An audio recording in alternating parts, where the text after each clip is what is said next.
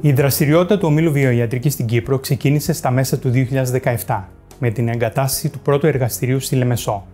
Σήμερα ο όμιλος έχει παγκύπρια παρουσία με το κλινικό εργαστήριο του Γερμανικού Ογκολογικού Κέντρου, με δύο πλήρως αυτοματοποιημένα κεντρικά εργαστήρια σε Λεμεσό και Λευκοσία, ένα κλινικό εργαστήριο, το Χημείο Γιανουκά, ένα ακτινοδιαγνωστικό κέντρο, το Α Έβρεσης, ένα πολυδύναμο κέντρο στη Λευκοσία και 15 συνολικά δειγματοληπτικά κέντρα.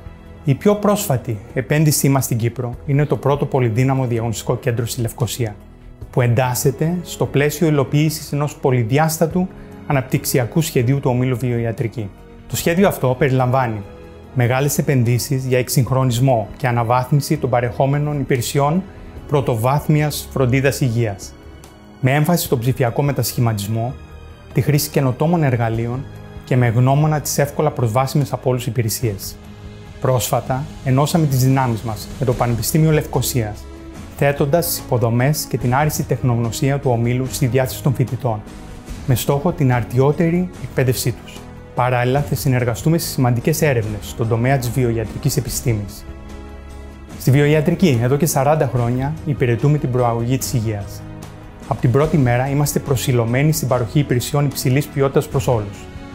Θα συνεχίσουμε να αναπτυσσόμαστε, να πρωτοπορούμε, να ξεπερνάμε τις προκλήσεις, να γινόμαστε κάθε μέρα και καλύτεροι για εκείνους που μας εμπιστεύονται την υγεία τους.